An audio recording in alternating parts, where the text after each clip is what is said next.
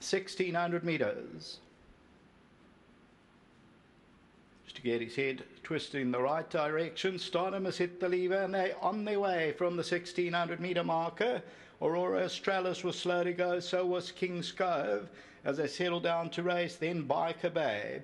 Stand by me, the first out. Class of eight is right there. Gentleman's Race back in third position. Then comes Arrow's Mark. They are followed by Puccini. Sea Sponge races about five or six lengths off them. Then comes Amazing Satchmo.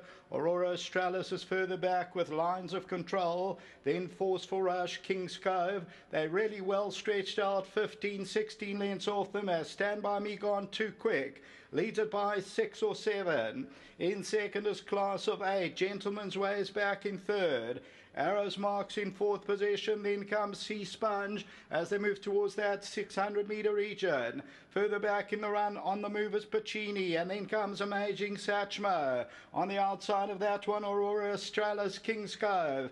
Top of the lane, stand by me there by five lengths. Back in second position is Class of Eight. Stand by me's in trouble though. Gentleman's Way comes out for a run. Arrows marks on the inside. Puccini comes out for a run and then behind that one lines of control as they come to the 200. And it's Gentleman's Way the leader. Arrows marks on the inside. Puccini King's Cove's running on from nowhere. Coming to the last hundred though. Gentleman's Way the leader. Arrows marks trying to close it down.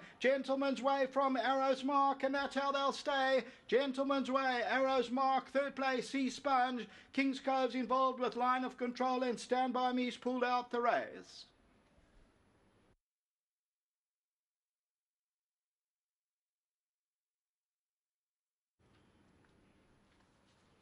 Number four, Gentleman's Way, the path fork.